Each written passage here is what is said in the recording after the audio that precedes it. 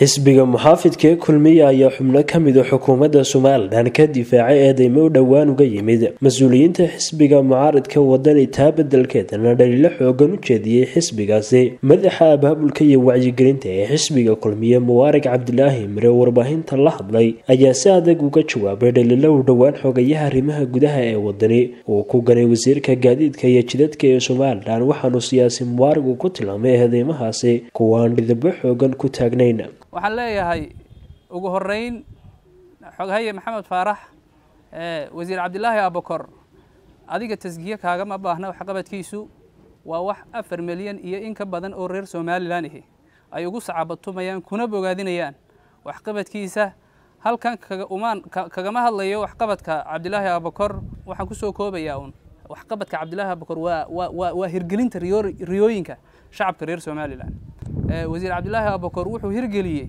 wadadii ceeri gaabo ceeri gaabo road oo qof kasta oo muwaadin reer somalilan ahi niyadiisa uu ku hayey oo uu ku taamayey maalin inay hirgasho wasiir cabdilaahi abakor waxa weeye wasiirka hirgeliyey boqolkiiba toddobaatan in ka badan maalintii dhaweytoole wadadii ood weyne berbera corridor waxqabadka wasiir cabdilaahi abakor waa waxqabad muuqda oo la taaban karo oo hirgelaya hirgelaya oo dhagax dhig keliya ahayn iyo dhagax dhig inta laga tago aan ahayn. Marka waxaan leeyahay maxamed faarax runtii hadalkaagu muu ahayn hadal mas'uul. Hadal siyaasi xisbi mucaarad ah ka tirsan muu ahayn. Hadal muu ahayn dhaliil ah ee wuxuu ahaa hadal aflagaado ah iyo afxumo ah. Maxamed faarax hadalkiisa kow maaha laba maaha intuu xisbiga wadani raaligelin ka bixiyey. Iminkan waxaan u fadhinaa un xisbiga wadani inuu hadalkiisa raaligelin ka bixiyo waxaanad u muuqataa in maxamed faaraxoo lagu soo kalifay oo dhabarka lagaa soo taabtay. Qofku markuu mas'uul yahay waxaa fiican inuu hadalkiisa u meeldayo inuu hadalkiisa u meeldayo oo uu eego waxa uu ku hadlayo waxay ka turjumayaan feedbacka ka soo noqonaya. Kolba maaha inuu shakhsiyaad mas'uuliyad iyo xasaanad qarankan u haya inuu maxay hayde aflagaadeeyo siyaasi mubaarig oon ka dhex galay hadalka ayaan weydiiyey su'aal u dhigneed ma waxaad meesha ka saaraysaa dhaliilaha ah inay xukuumadda madaxweyne muuse gaar ahaan wasaaradda gaadiidku aanay saddex sano ay xilka haysa aanay wax wadooyina dhagax dhigin amaba hirgelin halka ay hadda si aanba qaadayso waddooyinka ay dhagax dhigtay xukuumaddii madaxweyne silaanyo iyo dhaliisha ah inay wasaaradda gaadiidka u xarooto lacago uu xisbiga wadani ku baaqay in la caddeeyo nooca ay tahay waxaanu ku jawaabay. Waa ta hore ee waxqabad waxaa la odhan karaa wax fula. Inta meel la dhagax dhigo inta laga tago. Dee kaasi waxqabad maaha bulshaduna way arkaysaa qof kastoo caqliya garaadlana u arkaya. Waxqabadku waxa weeyaan waxa loo tiirin karaa wuxuu shaygu markuu la dhagax dhigo ee la fuliyo ee la qabto. Markaasuu waxqabad noqonaya. Tan kale uu ku dhaliilayuu leeyahay waxaa la keenay dhakhtar baa la keenay wasaaradda jidadka waxa weeye taasi waa horumar.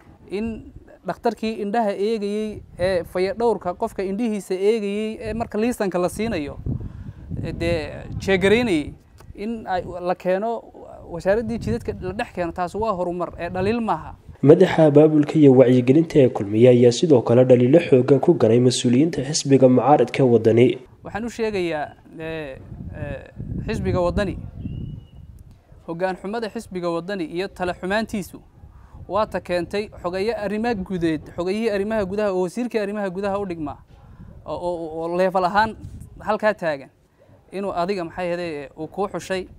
Waxa weeye waa siyaasad xumada xisbiga wadani weeye waa siyaasad xumada xisbiga wadani ay ku weyday inay ku hanato qulubta shacabka reer somalilan. Sidoo kale waxyaabaha uu ku dhaliilayay haddaad u fiirsato cabdilaahi abakor waxaa ka mid ah muddaxileedka muddaxileedka xukuumadda iyo xisbiga kulmiye waa shan sannadood weeye shantii sannadood laba sanaa ka dhiman oo wax yar lah. Insha allahu tacaala wasiir cabdillahi abakor wuxuu yihi waxaan ku darsan doonaa shan sannadood oo kale ee toddoba sannadood samra.